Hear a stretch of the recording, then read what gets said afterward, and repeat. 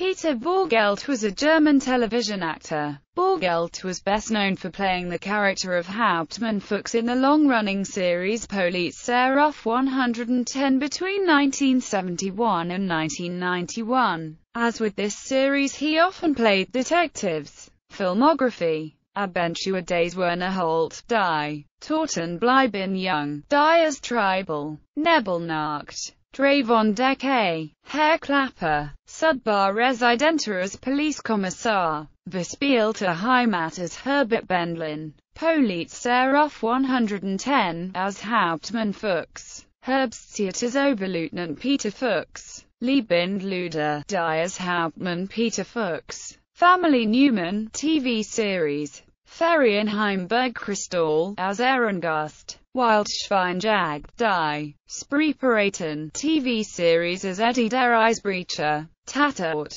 criminal, Kriminalhauptkommissar Peter Fuchs, Drei Reisender Schwestern,